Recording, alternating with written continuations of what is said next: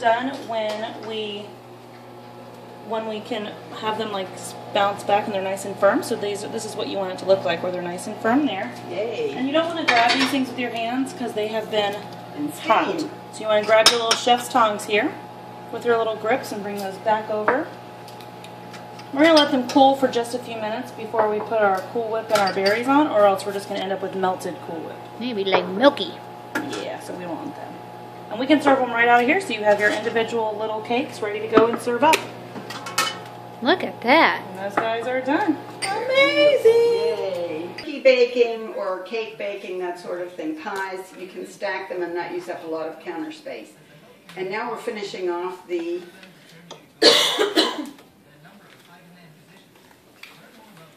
Steam our little cakes here. Here. May I? Oh, Go for it. It's just like a caulking. I, I, I know, but it's almost empty. But I'll try it anyway. We have more. Oh, She's trying to make it pretty. She's giving the scalloped. I took a um, cake decorating course years ago at the Y.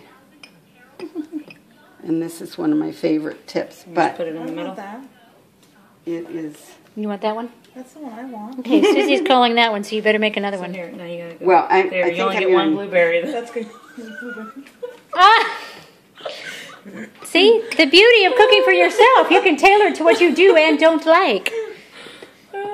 I Okay. got more Cool Whip for you because you're about to be out. You got big old whoopies going there. Those are waves of glory. Glory. That one's Budamus. Look at that. whoops, Okay. we're out. Yep, I got some more for you.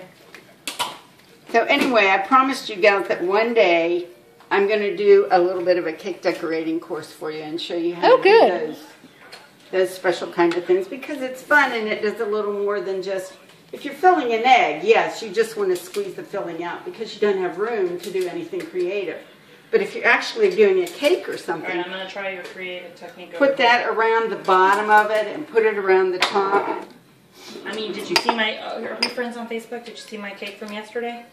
Um, Totally made grass out of our garlic I did see that. That was adorable. I saw that on Pinterest. I love that. So did you see how I do it? Back it up a tiny bit and then ease off. Oh, Whoops, air bubbles will kill you every it time. tooted on you. It did. I see another pot of air coming. bubble there. Nope, mine aren't as pretty as yours. Could start from back and then go forward. Like There. Yes. See? Somewhat, yeah. Much better. And this one needs a tiny bit more in the center, that. Christina. Make a little heart. Oh, okay. Now that's adorable.